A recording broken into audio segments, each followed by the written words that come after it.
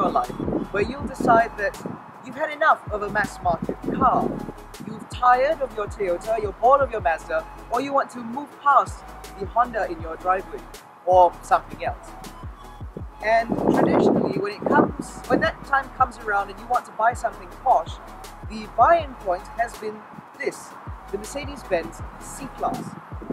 The W205 generation that we see here has recently received a facelift, where it's gotten slightly sharper looks, a slightly revised interior, but most importantly, doesn't have what it takes to stand up against competitors like the all-new BMW 3 Series, the sharp Lexus ISF, and the highly technical Audi A4. Let's find out. So the W205 generation Mercedes-Benz C-Class, which you see here, was very recently facelifted and with it there have been some slightly small styling tweaks that have made it look that much sharper and that much more current.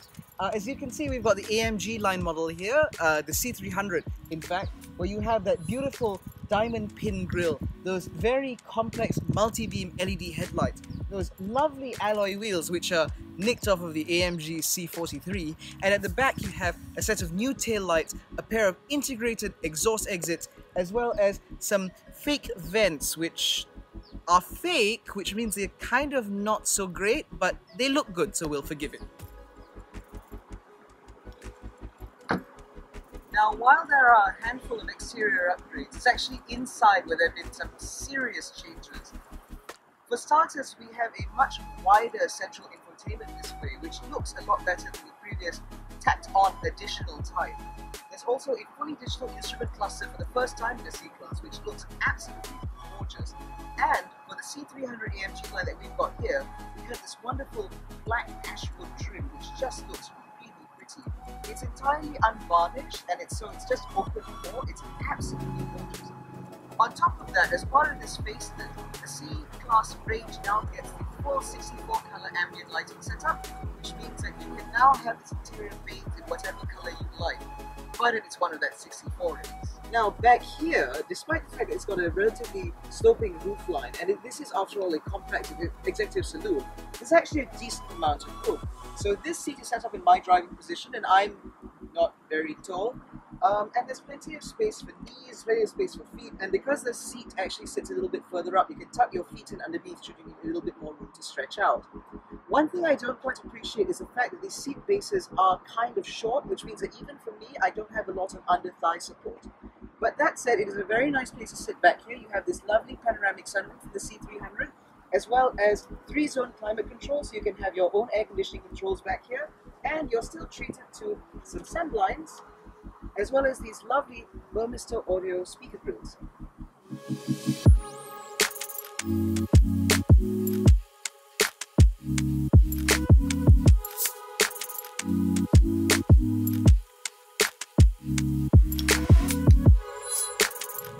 Alright, now driving the C300 AMG line. Um, it's worth pointing out that, again, this is an AMG line car, not an AMG. A proper AMG would be a C43 or a C63 AMG. So this car gets a 2 litre 4 cylinder turbocharged engine, which puts out 250 odd horsepower, 350 newton meters of torque, uh, and it is pretty pokey, uh, if I might mention. It's quite fast, this thing.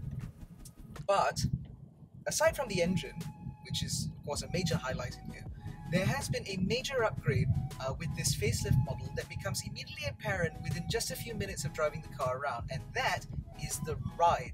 The ride in this car is much, much better than the outgoing pre-facelift C300, and the reason for that is the new C300 that I'm driving now comes with Airmatic suspension. It's the first application of Airmatic suspension on a C-Class and you can really feel the difference. I mean, this car is so smooth. It irons out all but the very worst of bumps. It really does take the edge off and it gives this car this lovely relaxed feel. On top of that, the air suspension also allows this car to have a much wider breadth of ability. So when you use the Dynamic Select Drive Mode selector uh, and move from, say, comfort to sport, you move from this lovely, comfortable cabin into something that is relatively unforgiving, um, pretty stiff, pretty firm, controls uh, body movements very well. I'm going to apologize for lighting because I'm about to go underneath a bridge. And we're back. And um, again, it allows the car to properly harness or properly embody the mode that it's trying to get into, uh, as opposed to how it used to be, where the C300, no matter what mode you had it in, was just so ridiculously uncomfortable due to its 19-inch wheels. This car still has 19-inch wheels, I should add, um, but they're nicked straight off of the C43 AMG. Uh, they look great, but it no longer comes with a compromise. So you get a car that looks fabulous and drives really well. Now, the next thing that I want to bring up is the fact that this car, despite the fact that it's very powerful and its suspension gives it a very wide breadth of ability, it isn't exactly the last word in dynamism or rigidity. You can tell that the suspension, or rather the chassis of this car, was not really tuned to be sort of an engaging driver's car. That's not really the point of it. I see the C Class as a comfortable, small executive saloon that you can drive around town with ease and waft over long distances without much of a care. And even in this car, which has a very aggressive exterior and these lovely seats and this AMG line uh, steering wheel, it still feels very much that way. It may want you or tempt you to drive faster over back roads uh, simply because there's just so much power available. But in terms of the dynamism itself, it doesn't egg you on to go faster. It's not like a, a G20 3 Series, for example. That's a car that keeps telling you, you know, give me a little more, we can do it, let's go a little faster. This is the kind of car that invites you to slow down, chill out. Kind of what I'm doing right now on these beautiful back roads, which aren't tarred very well but look very nice. I'm driving on these beautiful back roads. I'm not sure if the camera is picking it up, but it's absolutely gorgeous back here. Beautiful curves, gentle curves, with trees on either side, dense greenery, and the occasional monkey. Um, but I'm driving on these roads because I don't want to drive very fast. I just want to enjoy a nice Sunday drive, sort of chilling out, navigating around said monkeys. Now there's an uncle trying to feed them. Um, because I want to enjoy this drive because this car is about sort of the gentle drive, taking in the scenery, that sort of thing. It also means that I get to avoid the highway, which highlights another point. Despite the fact that this car's character suggests that it's very good at covering long distances at high speed and keeping you comfortable throughout, it's missing one very critical aspect that I feel puts it a little bit behind the competition, and that is insulation this car doesn't really isolate you from the world around you.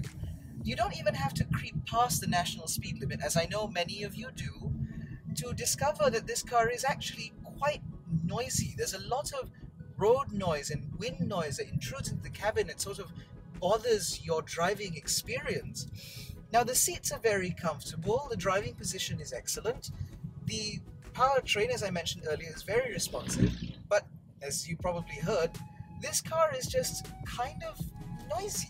I mean, even at 110, there's quite a lot of road roar that comes through, and it spoils it.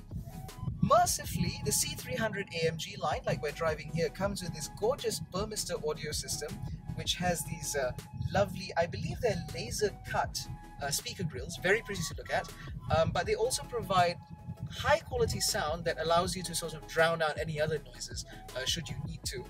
But um, there's a narrow point. I'm going to let some of these cars pass first. Um, but without the Burmester audio system, if I'm honest, it does get kind of noisy, a little bit busy, a little bit tiring uh, to drive this car at high speeds. In fact, after having done so uh, within the first couple of days that I drove this car, just you know to give it a thorough test, after that I sort of reverted to type and I haven't really been going past 100 at all, simply because this car appears to not want me to. The sound insulation thing, I keep kind of coming back to this because it is such a major point. I've driven the Audi A4 in the past, and that car is whisper quiet, even at high speeds.